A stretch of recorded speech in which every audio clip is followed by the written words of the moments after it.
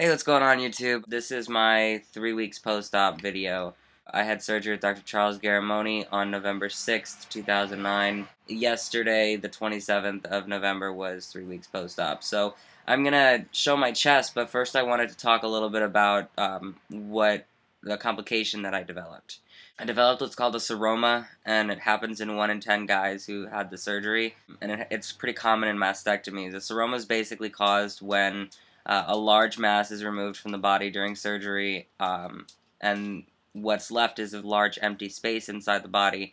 And the body's natural way of uh, of filling that space is to fill it with this sterile fluid that the body uh, creates. I guess it's just pretty much a hassle, and um, you have to end up binding again uh, to compress the chest uh, to slow down the, the, the fluid from building up, and you have to go and you have to get it drained. And luckily, Dr. Garramone lives, uh, or his office is only an hour from where I live, so I have had to make six trips in the last month. That's including pre-op and consultation and surgery and post-op. I have to go back on Tuesday to get them drained again. Basically, it looks like when you poke at it, it looks like a waterbed effect. Elliot on YouTube and Caleb on YouTube um, call it a water boob. And, you know, they joke around about it, but it's caused a lot of dysphoria for me because it's like, welcome back, girls. You know, it's been really hard for me. It feels like my body's rejecting the one thing that I feel like I did right to my body. It's like my body's turned its back on me again, and it really sucks. And most guys only have to get it drained once or twice, but I've had to go and get it drained twice already, and I'm to have to go again and get it drained, and probably again and again and again and again over the next couple weeks. Um, which sucks because it's a lot of gas money, a lot of toll money, and it's a lot of trying to find rides because I don't have a car. My nipples. My left nipple, which, like I said, is the side that had less problems with the seroma, um, my left nipple is healing very nicely. My right nipple has, um, I think it might be getting infected. I'm not sure.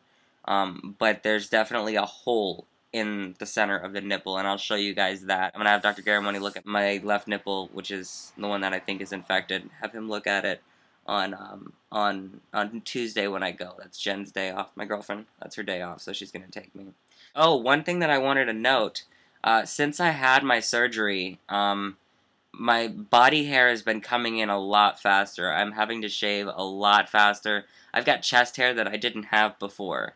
Um, it's coming in thick and dark and like a lot, which I'm quite happy with. My girlfriend, not so much. And my facial hair is coming in a lot faster and a lot thicker.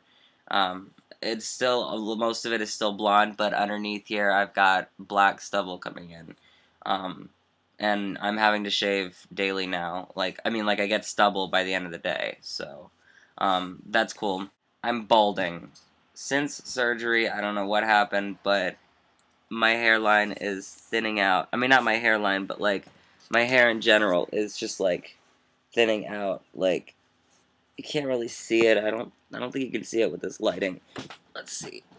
I never had real, uh, real thin hair before. I always had really, really, really thick hair. I've also got acne coming in a lot more, um, which totally sucks. But, you know, it is what it is. So, yeah, I guess that's it. I'll go ahead and show my chest now. Um, be back in a jiffy. Alright, so this is my chest. Um, three weeks post-op. Uh, I am allergic to the band-aids that I'm using. Um, I'm allergic to the adhesive, which is actually Band-Aid brand. Uh, uh, also, a sign of the seroma is they. I mean, uh, a side effect of the seroma is that it can make your skin sensitive. So that might be why. Because I mean, I grew up using um, what's it called? Uh, using Band-Aid brand, and I've never had a problem with the adhesive before. But for some reason, I'm I've got a rash where the adhesive goes. Uh, this is my chest three weeks post-op. I do have some dog ear. my camera's reversed. Um, I do have some dog ears on the sides um, that are a little bit visible. Not too bad, though. Um, and I'll get those taken care of. Most likely I'll have a revision done and get those taken care of. My incisions are very small. Um, you can see what looks to be like, um, like stretched out skin, but those are stretch marks. It's not anything that, that Garramone did. It's just I had a lot of stretch marks on my chest uh, before surgery. My incisions are very small though. Um, I think I mentioned it before. He didn't have to. He didn't have to connect the incisions.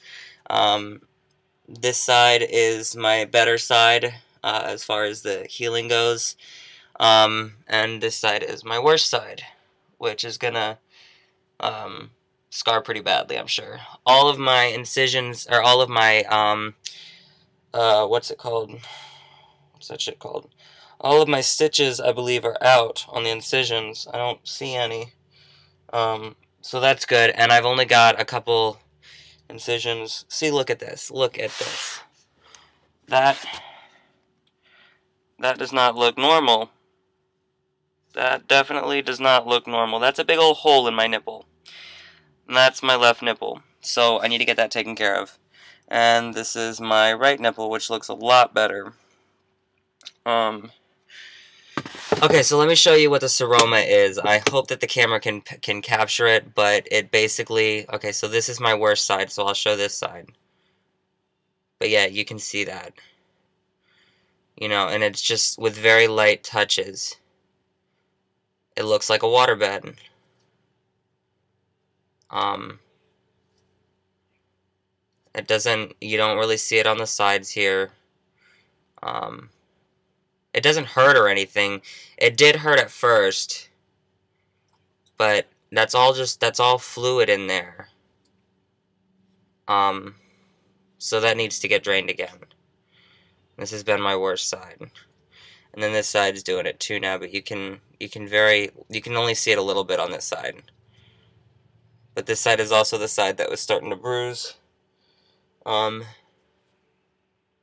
oh, you can see it when I do it there. This is the area that's that's starting to bruise. You can't really see it on the camera at all, but this area here is starting to bruise pretty bad.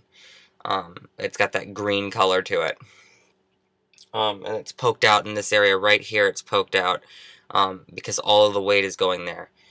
So, um, as far as the stitches go on my nipples, I have what looks to be about three left on this nipple. This looks really, really bad, like, really bad. Like, I just took my stitches off, or my, um, my bandages off, and that does not look good at all. I need to get right into Garramone on Tuesday. Um, and then this side, I only have what looks to be one stitch. Um, maybe a couple, maybe a couple stitches left on that side.